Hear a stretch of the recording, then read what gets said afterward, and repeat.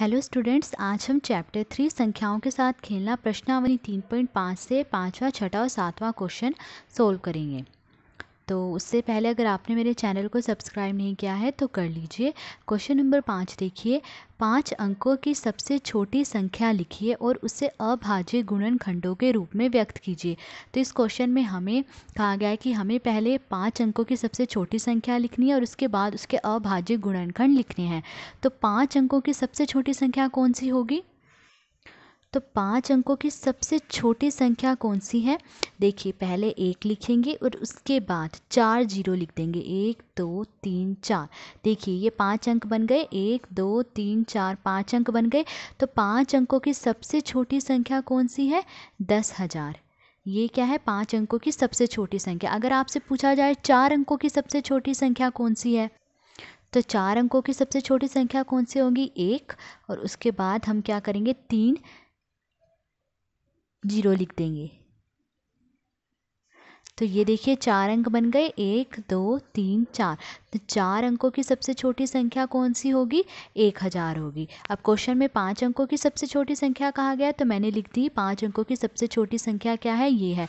अब इसके हमें क्या करने हैं? अभाज्य गुणनखंड ज्ञात करने हैं। तो अब देखिए इसके अभाज्य गुणनखंड ज्ञात करने हैं। तो हम देखिए दो से स्टार्ट करेंगे। देखिए ये दो से कट जाएगा क्योंकि इसके लास्ट का अंक क्या है? ज़ीरो है। तो जिस भी संख्या का लास्ट का अंक ज़ीरो दो, चार छः आठ होता है, वो संख्या दो से कट जाती है। तो इसका मतलब ये दो से कट जाएगा। तो मैं इसे दो से काट लूँगी मतलब दस हज़ार को मैं किससे भाग दे दूँगी? दो से भाग दे दूँगी। तो इसे दो से भाग देंगे तो क्या आएगा? देखिए इसे दो से भाग दे देंगे। दो पंजे, दस।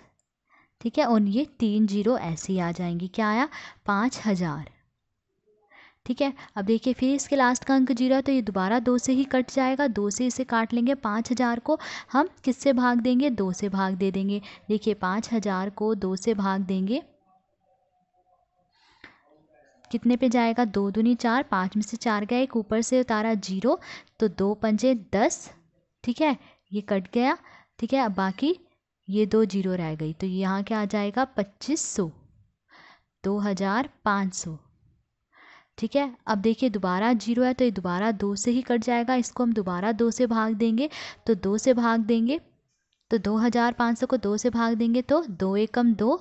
ठीक है, ऊपर से पाँच उतारा तो कितने पे जाएगा? दो पे, दो दूनी चार, पाँच में से चार गए एक, फिर ऊपर से ज़ीरो उतारा तो क्या ये क्या आया दस? ये कितने पे जाएगा? दो पंजे दस। और यहाँ क्या रह गया ज़ीरो? तो वो यहाँ पर लिख देंगे हम। तो कितना आया? एक हज़ार दो सौ पचास। अब देखिए, फिर ज़ीरो है, फिर इसको हम दो से काट लेंगे। दो से भाग दे देंगे कितने पे जाएगा? दो छः के बारह। ठीक है? दो छः के बारह, दो दिन चार, पाँच में चार गए, एक दो पंजे दस, छः सौ पच्चीस आएगा। अब देखिए, ये तीन से तो भाग नहीं होगा, ना दो से ये भाग नहीं हो सकता क्योंकि इसका लास्ट का अंक क्या है? पाँच है, ठीक है? ज़ीरो, दो, चार, छः, आठ हो, तभी वो दो से भाग होता है। अब लास्ट का अंक देखिए क्या है इसका? पाँच है तो दो से भाग नहीं होगा, ये तीन से भी भाग नहीं हो रहा है। अब हम इसको किससे भाग दे देंगे? पाँच से। देखिए, पाँच से ये भाग हो जाएगा, पाँच से कट जाएगा ये, देखिए।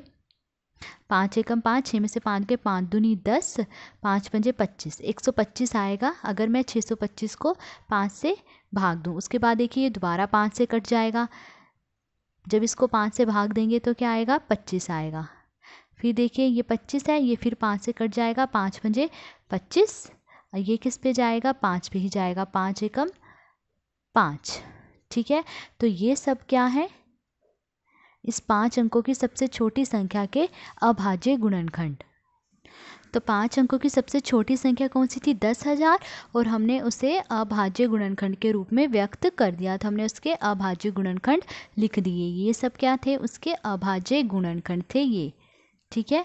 तो ये था क्वेश्चन नंबर पाँच। अब क्वेश्चन नंबर छः सोल्व करेंगे। क्वेश्चन नंबर छः देखिए। एक हज़ार सात सौ उनतीस के सभी अभाज्य गुणनखंड ज्ञात कीजिए और उन्हें आरोही क्रम में व्यवस्थित कीजिए। अब दो क्रमागत अभाज्य गुणनखंडों में यदि कोई संबंध है तो लिखिए। तो सबसे पहले हमें क्या कहा गया है कि एक हज़ार सात सौ उनतीस के अभाज्य गुणनखंड लिखने हैं। तो पहले हम वो गुणनखंड लिख लेंगे। तो देखिए, एक हज़ार सात सौ उनतीस के अभाज्य गुणनखंड लिखने हैं।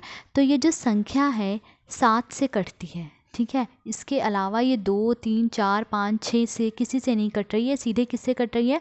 सात से कट रही है। तो मैं इस संख्या को सात से भाग दे के देख लूँगी, देखिए क्या आएगा। तो एक हज़ार सात सौ उनतीस को सात से भाग देंगे तो देखिए सात दूनी चौदह, सात तीन, इक्कीस, तीन पे बढ़ा है तो कितने पे जाएगा? दो पे। सात दूनी चौदह, सात में से चार गए तीन, ऊपर से उतारा दो। कितना आया? बत्तीस आया। ठीक है? सात चौके अट्ठाईस, सात पंजे पैंतीस, पाँच पे बड़ा हो रहा है पैंतीस तो कितने पे जाएगा? चार पे। सात चौके अट्ठाईस, बारह में से आठ गए चार। ऊपर से नौ उतारेंगे हम अब। क्या आया? उनचास तो ये कितने पे जाएगा अब? सात सत्ते, उनचास। तो इसका मतलब जब हमने सात से इसे काटा तो क्या आया? दो सौ सैंतालीस।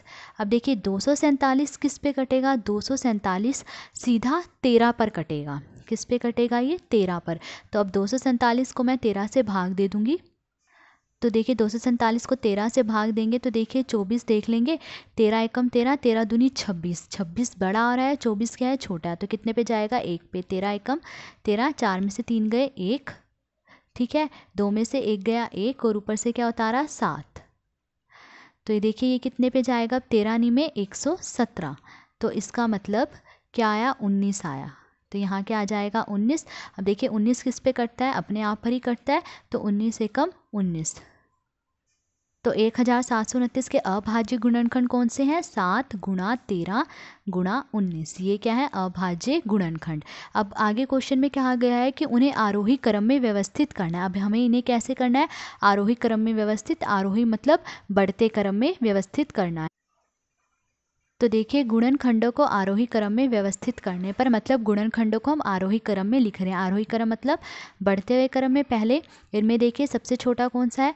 सात, फिर सात के बाद उससे बड़ा तेरह तेरह के बाद उससे बड़ा क्या है? उन्नीस। तो ये हमने आरोही क्रम में लिख दिए हैं। उसके बाद उन्होंने क्वेश्चन में आगे क्या कहा है कि अब दो कर्मागत अभाज्य गुणन खंडों में यदि कोई संबंध है तो लिखिए।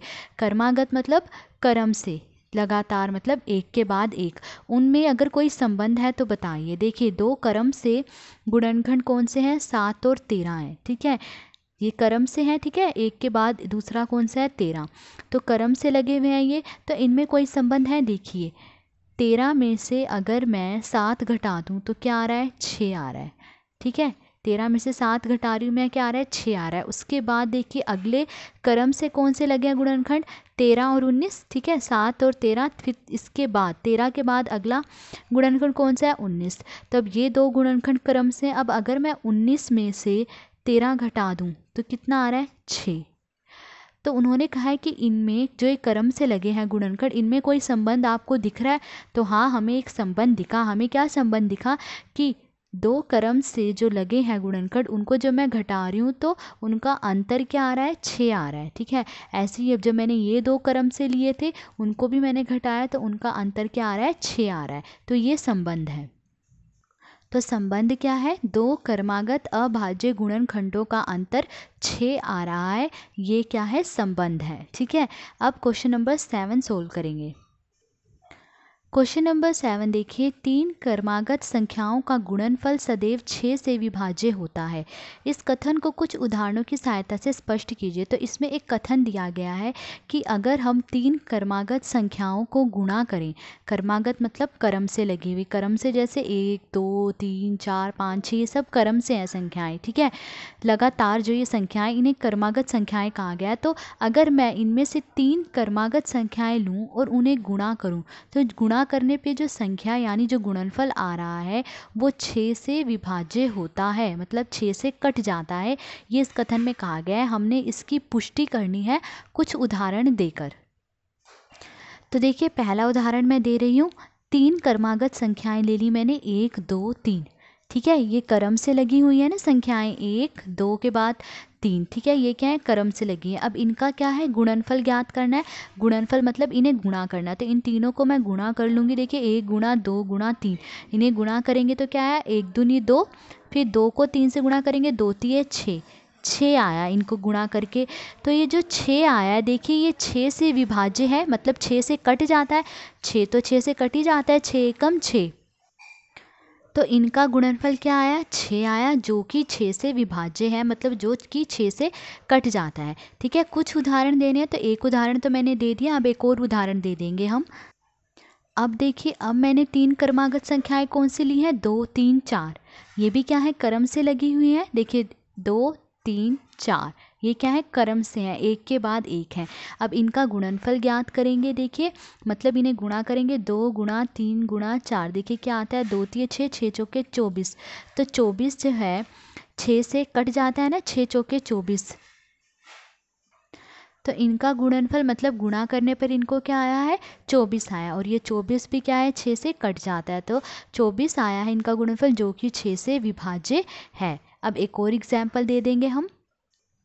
अब देखिए, अब मैंने तीन क्रमागत संख्याएँ कौन सी ली हैं? पाँच छः और सात ली है। आप कोई भी संख्याएँ ले सकते हैं। आठ, नौ, दस ले सकते हैं, पर तीन होनी चाहिए और क्रम से होनी चाहिए। दस, ग्यारह, बारह ले सकते हैं, ग्यारह, बारह, तेरह ले सकते हैं। कोई भी संख्याएँ जो तीनों क्रम से लगी हुई हों, वो संख्याएँ आप ले सकते हैं। अब इनका गुणनफल ज्ञात करना है तो देखिए, पाँच गुणा छः गुणा सात। इन्हें गुणा कर लीजिएँगे। पाँच छः के तीस तीस को सात से गुणा करेंगे, कितना आएगा? दो सौ दस। तो इनका गुणनफल क्या आया? दो सौ दस। देखिए, दो सौ दस भी छः से कट जाता है। तो इनका गुणनफल क्या आया है? 210 आया है, जो कि छः से विभाज्य है। आप बहुत एग्ज़ाम्पल दे सकते हैं। इसके और भी काफ़ी उदाहरण हैं। तो मैंने सिर्फ़ तीन ही उदाहरण दिए हैं। इसमें हमें यही कहा गया था कि कोई भी क्रम से संख्याएँ लेनी है तीन और जब उनको गुणा कर रहे हैं तो जो संख्या आ रही है वो छः से कट रही है। ऐसे कुछ उदाहरण देने हैं। तो मैंने उदाहरण दे दिए, क्रम से लेनी है बस संख्याएँ और तीन संख्याएँ लेनी है, ठीक है? तो ये था क्वेश्चन नंबर सेवन तो आज हमने फिफ्थ सिक्स और सेवन्थ क्वेश्चन सोल्व करा। अगर आपको वीडियो अच्छी लगी हो तो please like share and subscribe Thank you.